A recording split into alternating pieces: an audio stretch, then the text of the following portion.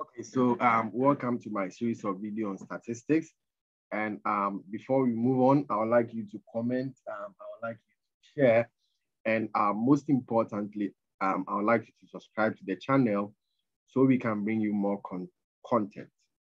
Now, in this particular video, this video is part of the series on ANOVA. In this particular video, I'm going to teach on randomized complete block analysis of variance.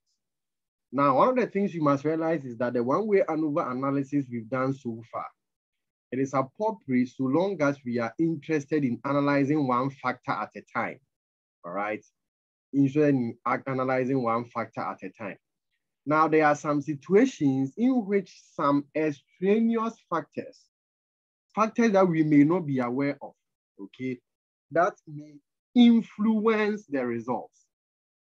So when that happens, we need to control for those additional factors or we need to block those additional factors so that we can focus on the main factor. All right, we need to block those additional factors so that we can focus on the main factor. And that procedure is called blocking. All right. Now let me give an example. For instance, if I want to test difference in the average scores among MBA accounting, MBA finance, and MBA management, what will happen is that I am assuming that the only factor that is affecting their scores is the class they are coming from. That is what I'm assuming. That what I'm what I'm assuming is that the only factor that is affecting their scores or that is causing the difference in their scores is the fact that they are in different classes. However, there may be other factors leading to the difference in the scores apart from the fact that they are in different classes. And when that occurs, we need to block those extraneous factors. And that concept is called the concept of blocking. Now, how do we do, or what are the assumptions under randomized complete block? Number one, we assume that the populations are normally distributed. Number two, the populations have equal variances. Number three, the observations within samples are independent. Number four, the data measurement must be interval or ratio. So when do we know that the question is asking you to do randomized complete block ANOVA? Look at this example. It says testing five routes to a destination through three different cab companies to see if there is a difference or if there a difference exists. Now here, the question could have just said that check whether there is a difference in performance among the three taxi companies or among the three cab companies. All right. That one would have been the simple one-way ANOVA, the difference in performance among the three taxi companies. But then, if you are testing the difference in the performance of the taxi among the three companies, but in addition, you are testing it through five different routes, okay? That means that the performance of the cars, apart from the fact that the cars are coming from three different companies, the performance of the cars may also be affected by the routes that you are passing on, all right? So here we have the actual factor to be the company that the car is coming from. But then the five different routes that we are passing on, it may be an extraneous factor that is causing what a difference. Another example is determine the best training program out of four choices for various departments within the company. Now, when that happens, or when we are doing randomized complete block ANOVA, of course, we will need our sum of squared total, which we already know. We will need our sum of squared between the factor levels, which we already know how to compute. Now, the next thing we don't know how to compute yet is the sum of square within the block, all right? The sum of squared within the block. Then we all know that the sum of square within is the residual. So sum of square within, in this instance, when we add sum of squared block to sum of squared between, and we subtract it from sum of squared total, you get the sum of squared between in this instance, all right? Now here, the notes here introduces what you don't know. Okay, everything in the formula you know except the sum of squared of the block, all right? So how do we find the sum of squared of the block? All right. So K here is the number of factor levels. Okay. K here is the number of levels for the factor. All right. Then SJ. SJ means that the mean each block. SJ means the mean for each block. Of course, S double bar here means the mean, which is the overall or the grand mean, as we know. All right. Then um, that is the formula. And if you want to find the sum of squared within, now we have to add the sum of squared between the normal one and then um, the normal, I mean, sum of squared between plus the sum of squared between the blocks. When you add the two and you subtract it from sum of squared total, you are going to get sum of squared within. Okay. And also, if you want to find the mean square blocking, all right, if you want to find the average of sum of squared between the blocks, all right, it is called the mean square blocking. The formula is here. The mean square blocking is sum of squared between the blocks over b minus 1, where of course b is the number of blocks, okay? Then mean squared between, we already know the formula, sum of squared between over k minus 1. The mean squared within. Now mean squared within in this instance of blocking will be sum of squared within over into bracket k minus 1 times into bracket n minus 1, all right? Where n is of course the sample size the total sample size. So keep note, I mean, take note that when we are doing that off blocking, the mean squared within formula, the denominator is now k minus one times n minus one, okay? All right, so let's move on. So if you run it in Excel, this is how the output will look like, okay? So very soon now I'll run such analysis in Excel, then I'll show this out. All right, I'll run this analysis in Excel and I'm going to show you this output. So if you run in Excel, whatever comes here is the sum of squared between the blocks.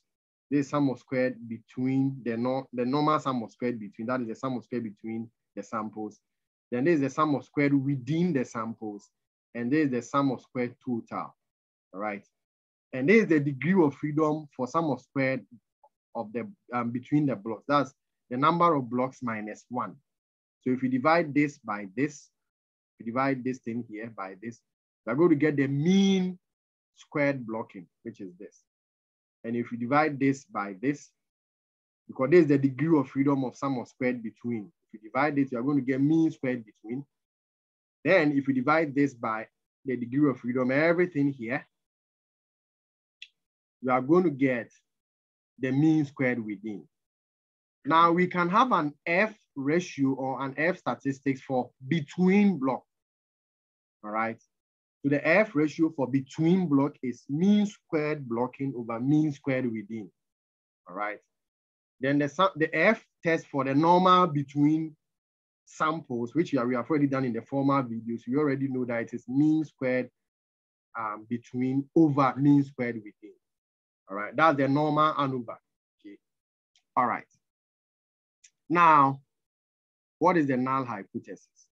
Now, because we are controlling for the blocking, you first of all state the main hypothesis. That is, there is no difference among the population means. Then the alternative is that at least two population means are different. All right. Then we know when to reject and when we fail to reject. Of course, when the F the computed F is greater than the critical F, we reject. If not, we fail to reject. Now, because we are controlling for the blocking, it means that we have to state a hypothesis also for the blocking test. All right. So we are because we are controlling for factor, we are blocking the extraneous factors. We have to state hypothesis for the blocking also. The null hypothesis is that there is no difference in the blocking means okay, is itself the mean of how many blocks that is there. Then the alternative is that, of course, at least two of the block means are different. Another way you can put it is that not all the block means are equal. You, I mean, this one you could have also said at least two block means are different. Another way you can put it is that not all the block means are equal. And if you compute your F and is greater than the critical F, um, the hypothesis. So let's move on. These are the steps in blocking. Specify the parameter of interest and compute the null and alternative hypothesis. Number two, specify the level of significance for conducting the test. Number three, select the simple random samples from each population and compute treatment, block means, etc. Number four, compute the sum of squares and the ANOVA table. Number five, determine which blocking is effective. Number six, conduct the main hypothesis to test whether the populations have equal mean. Okay, so let's look at an example here. A professor has developed three different midterm exams that are to be graded on a thousand point scale. Before she uses the exams in a live class, she wants to determine if the test will yield the same mean. To test this, a random sample of 14 people is selected. Each student will take the test, all right? So please, in a typical exam, they will tell you that do blocking, all right? In a typical exams, you'll be told to do blocking so that you know that you have to do blocking in addition to the normal, um, in addition to the normal um, ANOVA, all right? So here, the main hypothesis is that, of course, there's no difference in the test course among the three different exams, okay? Then the secondary hypothesis, which is the hypothesis for the blocking, is that there's no difference in the mean blocking. Then the alternative is that not all mean blocks are, are equal, all right? That would be the alternative for the blocking hypothesis. Now, let's look at the example here. So usually you'll be giving this information, you'll not be giving the block mean. All right, you'll not be giving the um, sorry, you'll not be giving the block mean. Sorry, so it's here. You'll not be giving the block mean. So normally the question will look like this. And then it will look like this. All right. So it means that the block means you will not be given. But let me show you how to compute the block mean. The block mean is done, you see, the, the groups themselves are exams one, exam two, exam three. Right? That is what we already know from the former examples we saw. Now, if we can find the mean of group one or exam one, which is seven, the mean of all these exams figures here, which is 793.57, exam two, the mean is eight. The mean here is 849.50. And then exam three, the mean is 668.00. Now, in addition, we are going to find the block mean. The question is, how do we find the block mean? The block mean is found by finding the means across the students. So when we find the means horizontally, we have done the block mean. So for instance, if I find, so the, the students here are actually the blocks, all right? Because the actual groups are exam one, exam two, exam three. So we want to check whether apart from being in a certain exam group, eh, another thing is affecting the results. So you now go across the results, not down. So the block means are found by finding the average of these figures, 830 plus 647 plus 630 divided by 3. So when you add 830, okay, plus 647 plus 630 divided by 3, you're going to get 702.333. So that's how come we find the block mean here. The second block mean will be 743 plus 840 plus 786 divided by 3. The third block mean will be 652 plus 747 plus 730 divided by 3. So that's how can we get these block means, all right? So that's how can we are able to get these block means. So you follow the procedure to get these block means, okay? Now, what you must know is that when you find the average of all the block means, you get a grand mean. Or you can find the average of the individual groups It's the same thing. When you find the average of this plus this plus divided by three, you also get a grand mean. All right. So when you find the average of the block means, you get a grand mean, or when you find the average of um, which is I think which is simpler. When you find the average of this plus this plus divided by three, you are supposed to get this grand mean. So this is our grand mean. Okay, that is our grand mean. Now, let's go back to our formulas. What we don't know is the block mean.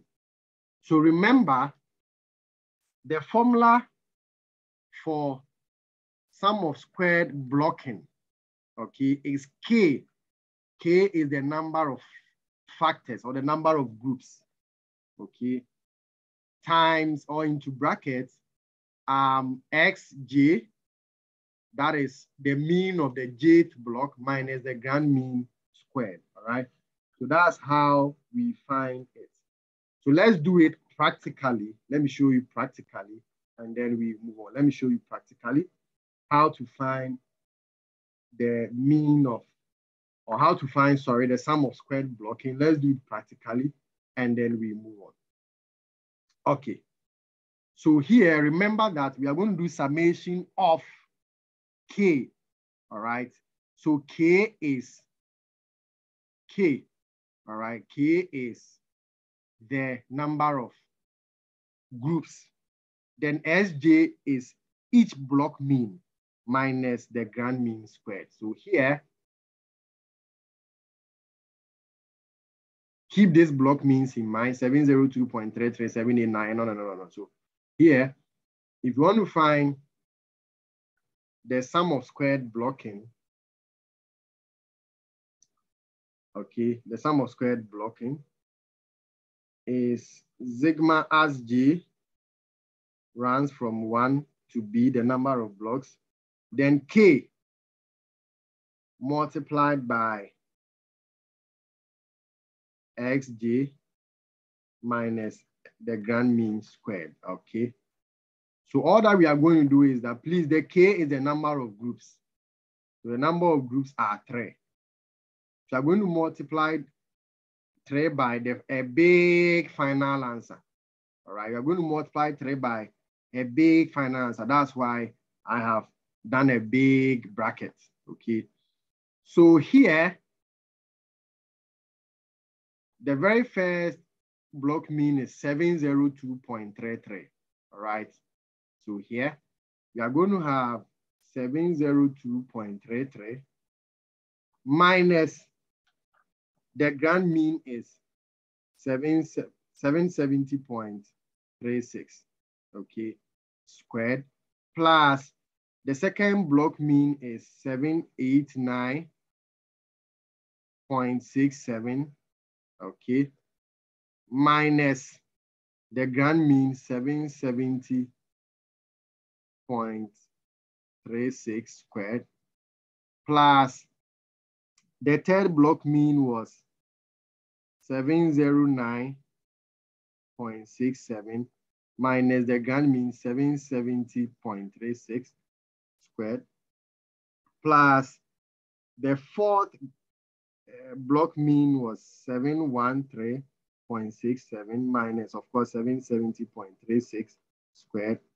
The fifth block mean um, is 796 0.33 minus 770.36 squared plus the sixth one is 686.33 minus 770.36 bracket close squared plus the next one. Um, the seventh one, I guess,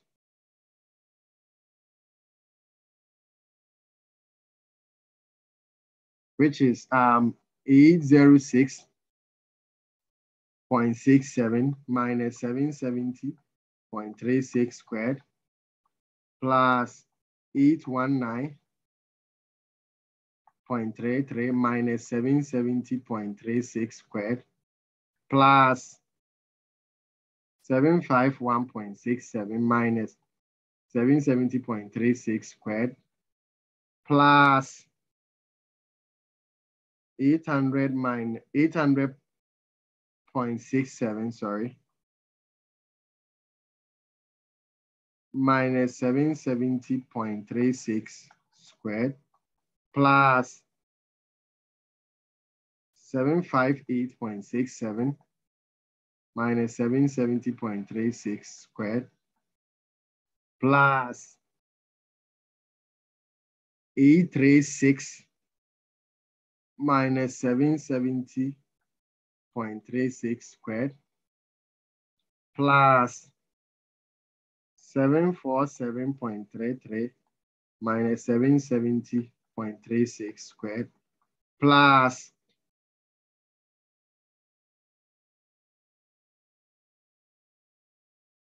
eight six six point six seven minus seven seventy point three six squared. So all that I've done is that I've subtracted the grand mean from each of the block means and I've squared it, all right? The final answer, you now multiply the final answer by the number of groups, okay? So it's going to be three times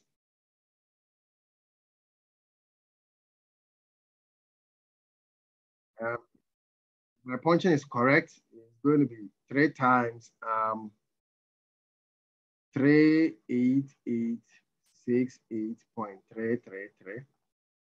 Then our final answer will be one one six six zero five point zero. Okay, approximately. So this is the sum of squared blocking. All right, this is the sum of squared blocking. That is the sum of squared blocking, okay? All right, so in our table here, this figure here is the sum of squared blocking, okay? And remember the degree of freedom for sum of squared blocking is the number of blocks minus one, okay? So here, um, the number of blocks, there were 14 blocks, okay? because the block means are 14. So there were 14 blocks. So number of blocks minus one is 13, all right? The number of blocks minus one is 13.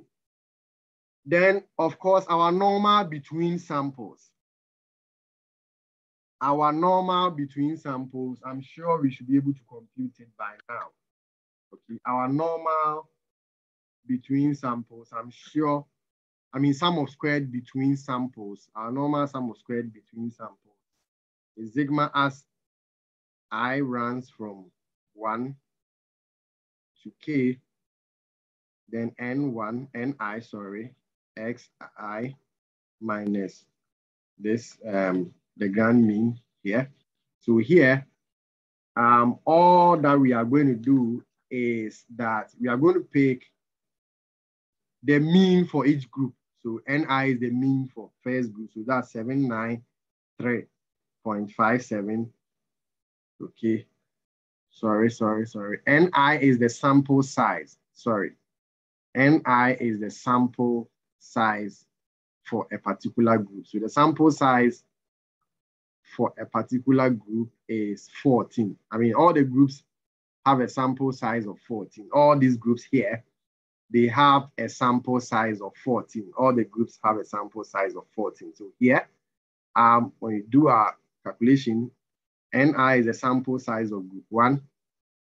Into bracket, this, the mean of group one was 793.57 minus the grand mean. We all know the grand mean to be 770.36 squared plus the sample size of the second group is 14. The mean of the second group is, or the eh, second exam is 849.50 minus 770.36 squared plus 14 into brackets. The mean of the third group is 668 minus the grand mean 770.36 squared. So when you point this correctly, you are supposed to get the sum of squared between, all right? This is not the blocking one, the normal. Let me take it again. So when you punch all these things correctly, the sum of squared between is um, 2, 4, 1, 9, 9, 1, 9, 1, 2. Okay, approximately 2, 4, 1, 9, 1, 2, approximately. All right. And of course, its degree of freedom is k minus 1, which is 2 minus 1, which is um, 3. All right. Now, what is left is the sum of squared within. So remember that before you get sum of squared within, you should have done your total sum of squares. And we all know how to find the total sum of squares. Subtracting each, I'm um, subtracting the grand mean from each element, squaring it and adding it, the manual approach. So once we know this and we know this, when we add this and this, and we subtract it from the total, we should get the within, okay, the sample size, um, the sum of square within, all right? Now, how do we get the mean sum of, or the mean square blocking? The mean square blocking is the sum of square between blocks, this figure here, divided by the degree of freedom. So this divided by this, you are going to get this. Also, this divided by this, you are going to get this. And then remember how we get the degree of freedom for within samples when we are doing blocking. So that is how we get it, k minus one multiplied by b minus one, all right? So here, it is this one 13 times two, because 13 is b minus one, two is k minus one. So that's how come we get a 26 here. When you divide this by this, you're going to get the mean square within, all right? Now let's go to our F. Let's go to our F, okay? Let's go to our F. F for the blocking definitely will be the mean squared blocking, okay? Mean squared blocking divided by the degree, um, the mean squared blocking here divided by the mean squared within, okay? So what it means is that This F here is the mean squared blocking. That is this figure. Okay, divided by mean squared within. So this figure here is actually 8969.6 divided by mean squared within is 9850.9. Okay. And then the F ratio for the normal um, between samples will be the mean squared between over mean squared within. All right, this one you've already done it. So that will be um, 12956.4 divided by 9850.9. You get this figure, all right? Now, the next thing is going to go and read our critical F. So remember, if you're going to read critical F for this F here, the degree of freedom of the numerator, the degree of freedom of the numerator in the formula here, the numerator was the 8, 9, so the degree of freedom is 13. And then the degree of freedom of the denominator is 26, all right? 26. So we can go and read our F table, 13 and 26, 5% level. Then if you want to read the, this critical F here, the degree of freedom of the numerator will be two, and then the degree of freedom of the denominator will be 26, all right? So you can also read it from your F table. Now, clearly, we would fail to reject the null hypothesis of the blocking. Why? Because this computed F is less than the critical F. So it, it, it is within the acceptance bound. So we will fail to reject, all right? So our conclusion is that the blocking was not effective. But when you reject, you will say that the blocking is effective. We have been able to block. Because the null hypothesis of the blocking is that the blocking is not effective. The alternative is that blocking is effective. So since we failed to reject, it means that the blocking was not effective. right? Then also, when it comes to the actual test of difference between the means the normal F ratio we've done already in the former videos. it is more than the critical F. So we will fail to, um, sorry, we will reject the null hypothesis that the means are equal. So our conclusion will be that the means are not equal, all right? The means are not equal, okay? So in the next video, I'm going to teach you how to do it in Excel, and I'm also going to teach you how to do the multiple comparison for blocking, okay?